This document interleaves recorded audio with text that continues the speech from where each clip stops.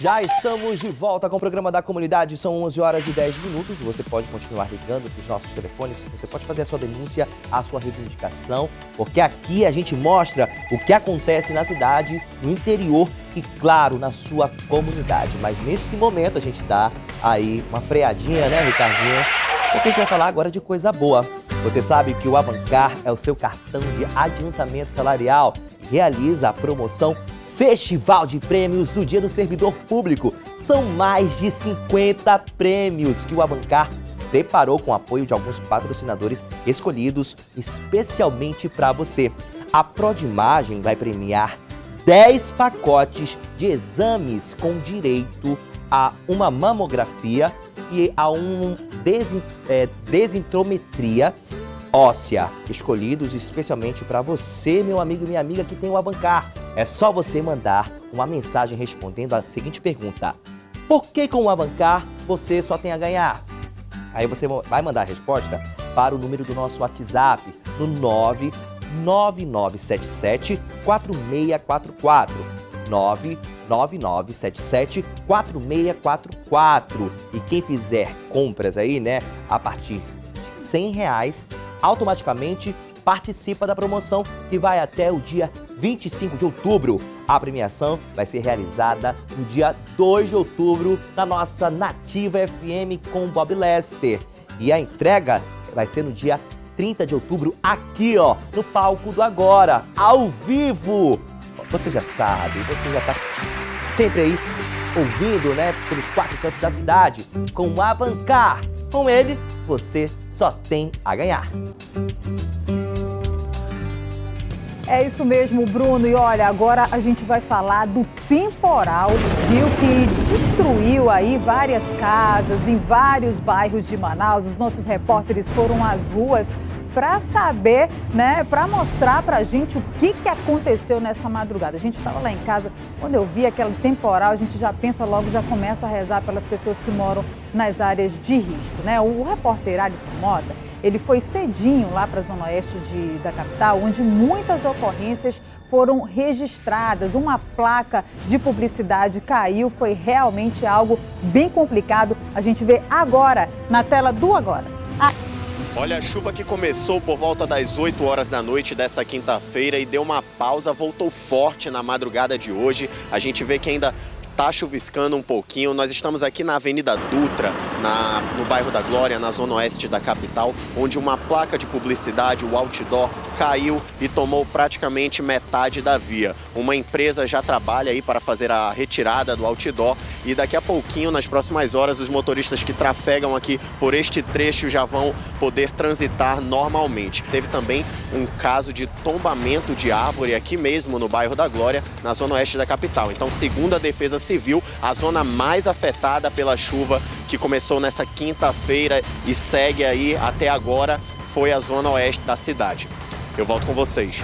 Obrigada, Alisson, ao vivo, direto aí da Zona Oeste de Manaus. Olha, gente, é muito triste, né? Você não consegue dormir direito, né? Você, você vê ali aquele barulho, aquele estrondo, o seu telhado sendo destruído pela forte chuva, os trovões, realmente foi algo muito forte o temporal de ontem aqui na capital, na madrugada. Em muitos bairros a energia elétrica foi embora, né? Lá na minha casa, na Zona Oeste de Manaus, lá no Dom Pedro, a gente ficou sem energia por muito tempo, né? Demorou bastante para voltar aí a energia uh, lá na Zona Centro-Oeste de Manaus, mas infelizmente aí todas as vezes que tem temporal forte, a gente noticia e graças a Deus nós não tivemos ocorrências de mortes, né? Muitas vezes há soterramentos em vários bairros aí da capital. Você vê as imagens na tela uh, da placa de publicidade que caiu com a força do vento aí na zona oeste, onde está o repórter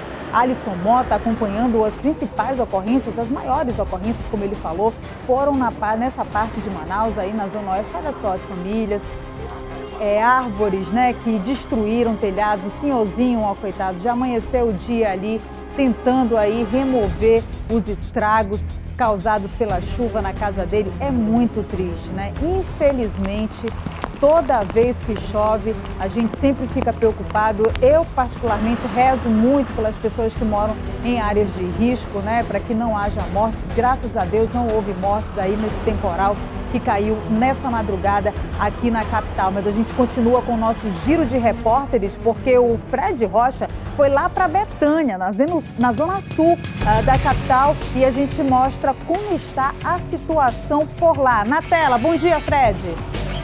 Nós estamos aqui na Betânia acompanhando o trabalho da retirada do telhado que foi parar em cima dos fios de alta tensão. Esse guindaste aí da Eletrobras está nesse trabalho para retirada desse material que inclusive veio parar em outra casa. Segundo os moradores, tudo aconteceu ainda de madrugada, por volta de uma hora da manhã. Esse telhado, que inclusive não resistiu aos ventos, ventos fortes, que atingiram ali aquela casa. O telhado ficava ali e ele veio parar em cima dos fios de alta tensão. Inclusive, olha, aqui essa casa de baixo a gente observa que o pátio foi tomado pela estrutura metálica. Quem mora aqui é a dona Edilene. Como é que foi isso de madrugada, quando a senhora se deparou com um telhado da vizinha no seu pátio? Primeiro ouvi um estrondo. Aí que quando eu abri a janela eu vi o, tudo isso aqui eu comecei a tremer. Aí eu telefonei para a emergência da, da Manaus Energia e os bombeiros vieram. Isso era uma hora da manhã, quando foi cinco e meia chegaram. E estão fazendo o serviço deles. E a senhora se assustou bastante com isso? Demais, demais. Eu pensei que tinha caído um avião aqui, nesse estrondo todo. Foi horrível. E agora pela manhã a senhora ficou também meio que isolada dentro da sua casa, né, sem poder fazer nada. Fiquei porque o, o pessoal da Manaus Energia me falou que ainda ainda estava com a energia. Ok, obrigado. Então é isso, o trabalho continua aqui para retirada, né, o abastecimento de energia elétrica aqui no bairro foi é, cessado justamente para facilitar, para que não haja o perigo aqui nesse trabalho. A gente observa que é realmente algo dificultoso, tendo em vista que a rua é um pouco estreita, os fios ficam amontoados, né? Um bem próximo ao outro e a estrutura metálica também é pesada. O telhado é grande, não é pequeno. Isso deixou os moradores assustados por aqui, mas eles disseram que inclusive neste mês de outubro, né, que a gente já aí está no inverno amazônico, isso é comum acontecer aqui na Betânia, na zona sul da cidade, segundo um morador me contou agora há pouco, nos outros anos também os telhados de outras casas acabaram não resistindo à força dos ventos por conta justamente deste período do ano que é bem complicado. A possibilidade, né, a probabilidade é que daqui a mais meia ou uma hora a Eletrobras consiga tirar essa estrutura metálica, pelo menos daqui de cima dos fios, que está bastante complicado, porque a gente observa que o espaço para manobrar é realmente bem pequeno. Tem aí a rua estreita e aqui no onde tem é, o pátio da casa da senhora, ó, gente observa, olha só, o telhado praticamente já tomou ali todo esse espaço e ainda tem outra parte aqui em cima dos fios, né? A gente precisa até se afastar porque esse trabalho aqui também é perigoso é, ficarmos próximos. Enfim, a situação que aconteceu aqui na Betânia e a gente continua é, vendo o trabalho, acompanhando esse trabalho aqui da Eletrobras para tirar este telhado de cima dos fios de alta tensão. Eu volto com vocês aí no estúdio. Obrigada, Fred Rocha, aí direto da Betânia, na zona sul de Manaus. Gente, um prejuízo uh, não só financeiro, mas também psicológico. Imagina quem tem uma criança em casa, quem tem criança, quem tem idoso, quem tem pessoas doentes que são impossibilitadas de se locomover. Como a senhora falou aí, parece um, um avião caindo. Imagina um susto, você deitado, você dormindo, né? E aí esse estrondo todo, essa chuva é, forte aí. A gente viu o trabalho dos bombeiros aí lá na zona sul de Manaus, né, lá na, na Betânia, onde o repórter Fred Rocha continua acompanhando aí as ocorrências. Tá aí, ó, teve o Alisson também lá na zona oeste de Manaus, no bairro da Glória. A gente vê as imagens da destruição causada pelo temporal que caiu esta madrugada. Infelizmente, temporal em Manaus é sempre sinônimo de destruição, mas como eu falei anteriormente, graças a Deus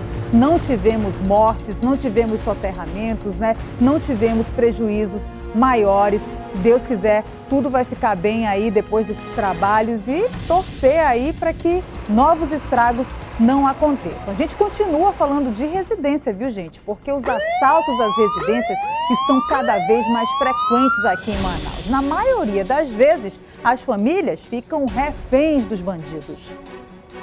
Denise já teve a casa invadida por bandidos. Na madrugada do assalto, ela dormia com a família. Estava fechada, eles ainda até deixaram a porta fechada, mas arrancaram esse miolo, porque, assim, é uma coisa incrível, porque a gente nunca imaginou que uma porta de ferro desse alguém ia tentar, ia conseguir arrombar, né? A irmã dela, que morava nesta casa ao lado, também foi assaltada e depois disso, a rotina mudou. Eu não dormia.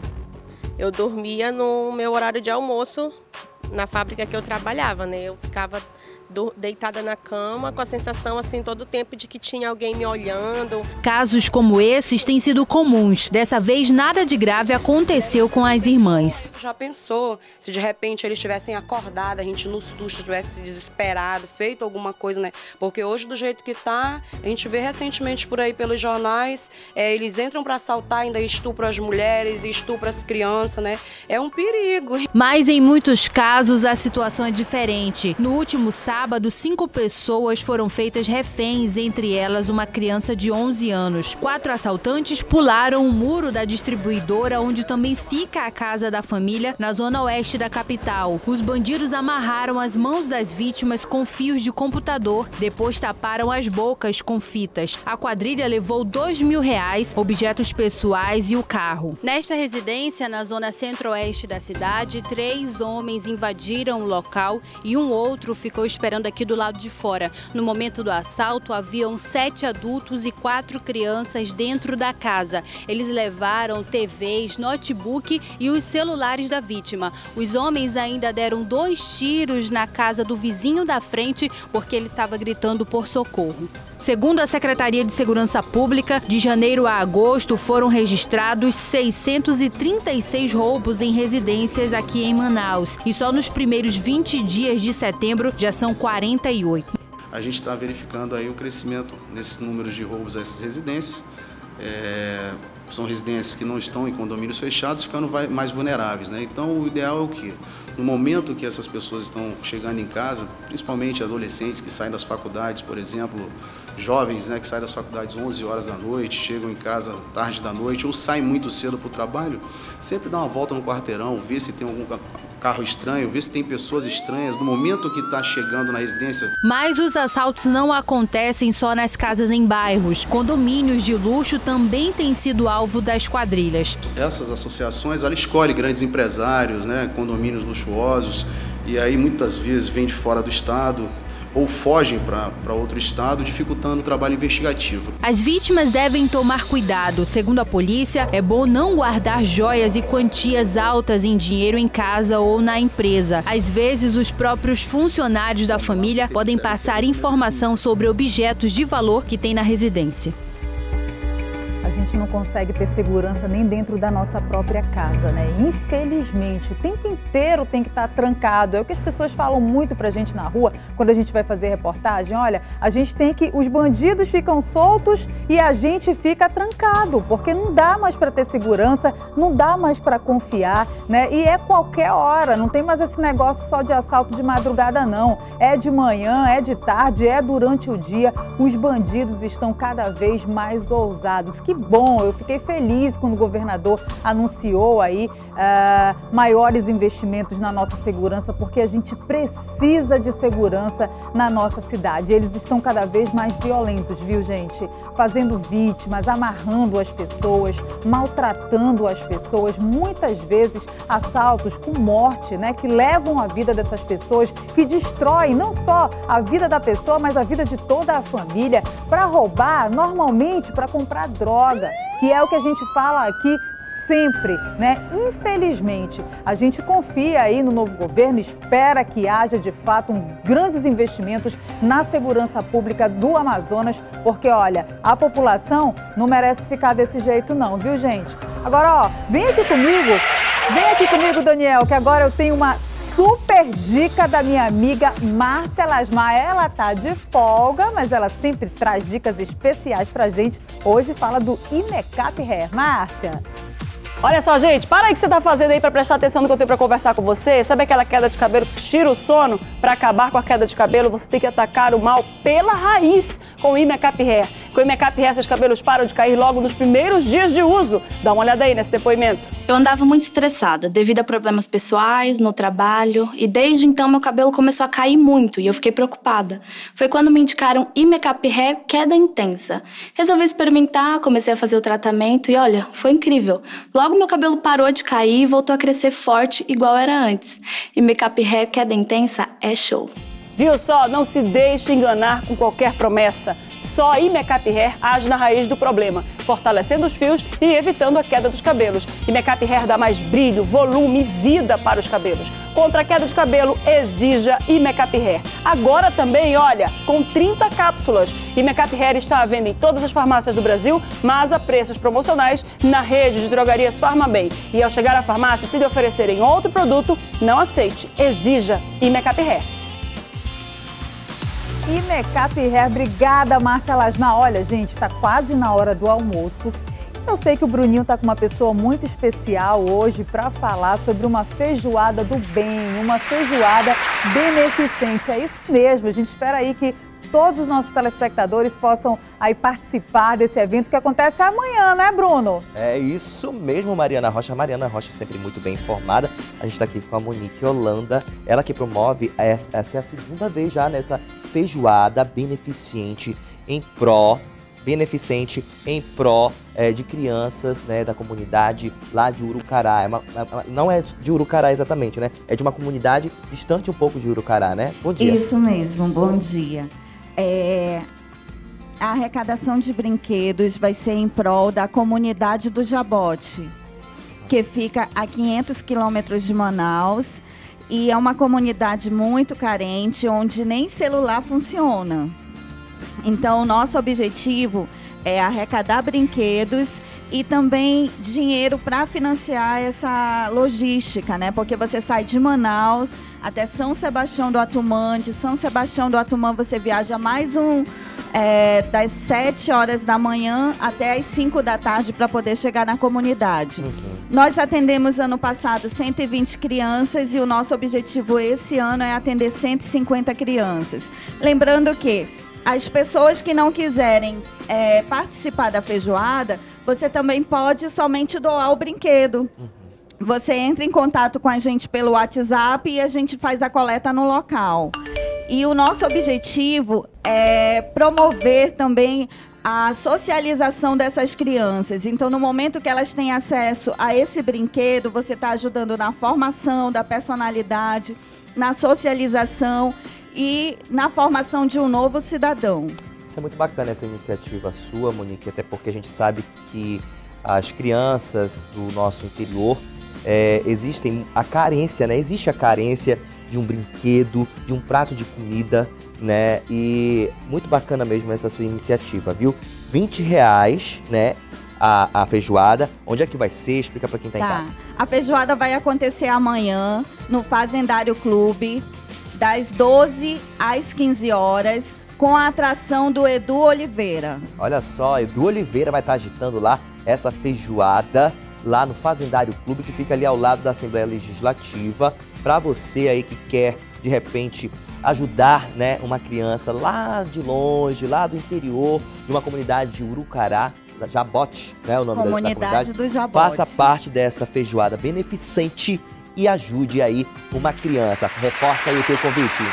Então, eu aguardo a todos amanhã para que nós possamos fazer a diferença na vida dessas crianças. Obrigada. Muito obrigado, viu, pela sua participação aqui no programa e continue aí fazendo um bem sem ver a quem, né? Obrigada. Mariana Rocha está aí do lado da Cia Brigadeiria, né? Fala aí.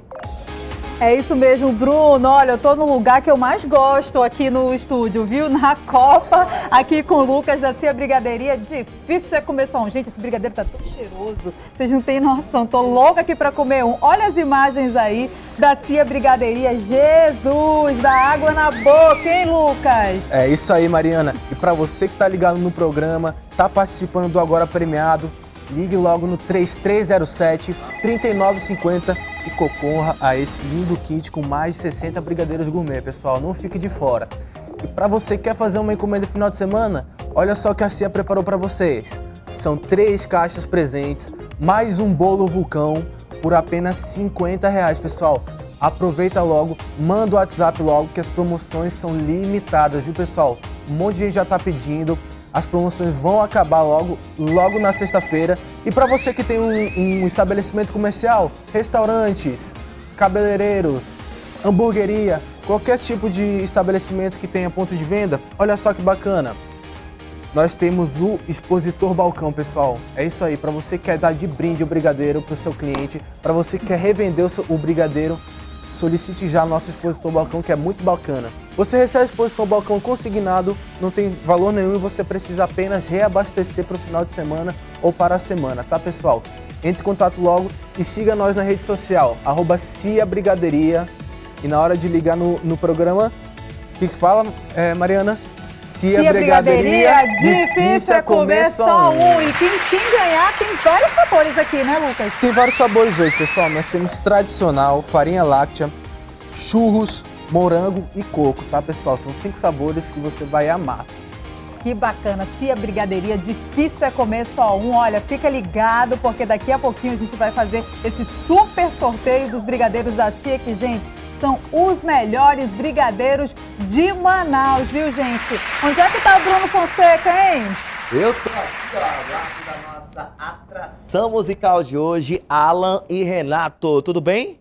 Tudo. Bom tudo. dia para vocês. Bom dia, bom já dia. Já tiveram algumas vezes aqui no programa já, né? Já sim, duas vezes. Viemos duas vezes. Essa é a terceira. E olha só, e olha só, eles, eles vão fazer parte do Agora é Festa!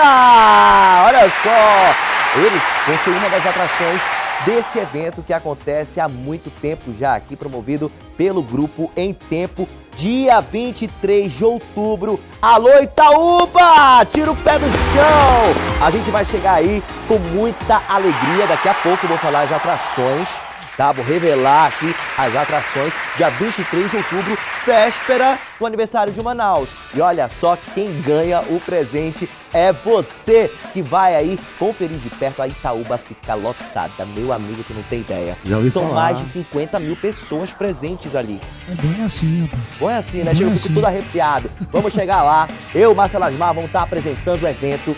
E também, lógico, o elenco da TV em Tempo vai estar lá. Mariana Rocha, vai estar lá é, Fred Rocha. Vocês não são irmãos não, né? vai lá Priscila Gama, Priscila Melo, Juscelio Paiva, vai estar o João. O João, nosso produtor, foi ano passado. Meu amigo, vai ser uma loucura. Vai ser uma loucura. E lógico, né? Ivan Nascimento vai estar lá puxando a nossa orelha. Vai pra lá, vai pra cima, vai pra baixo, porque é assim que acontece. Alô, Dona Maria. Alô, Dona Maria. Lá que fica bem do lado do palco, aquela casa que tem uma laje. Prepara o churrasco que a gente tá chegando, hein? Dia 23 de outubro, pra comemorar, né? E o dia 24, pertinho, o aniversário de Manaus. Porque você sabe, né, que dia 24 de outubro é o aniversário de Manaus, mas quem ganha é a Zona Leste. Vamos de música então? Vamos de sertanejo? Vamos, vamos de sertanejo? Alan e Renato, aqui no programa da comunidade, aqui pra você. De novo muito gostoso Do jeito que cê faz é carinhoso Por isso eu quero suas mãos em mim Como eu quero Um cheiro de amor que vem chegando Trazendo o seu corpo só pra mim. E como eu quero De novo um beijo muito gostoso Do jeito que cê faz é carinhoso. Por isso eu quero suas mãos em mim. Como eu quero O cheiro de amor que vem chegando Trazendo o seu corpo só pra mim Como esquecer o beijo que você me deu Não sei se era pra esquecer ou lembrar. E ficou um pedaço de você em mim. E hoje eu quero te ver pra me entregar. Como eu quero De novo um beijo ser muito gostoso Do jeito que cê faz é carinhoso. Por isso eu quero suas mãos em mim Como eu quero. O cheiro de amor que vem chegando Trazendo o seu corpo só pra mim. Como eu quero. De novo um beijo seu muito gostoso.